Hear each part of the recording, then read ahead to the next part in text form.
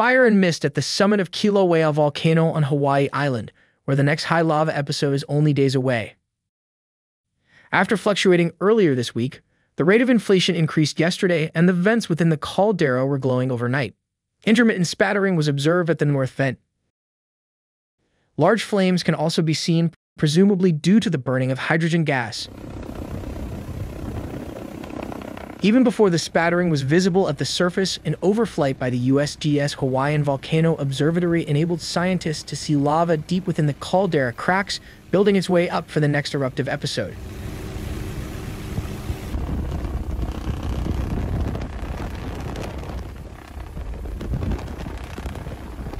Images of the changing landscape were also captured during their flight. The yellow sulfur bank near the vents. The patterns of the inactive lava channel on the crater floor the growing hill of Tephra, built on the crater rim by the episodic lava fountains. Models indicate episode 38 will occur between Saturday, December 6th and Monday, December 8th. Precursory overflows of degassed lava may begin erupting from the vents at any time.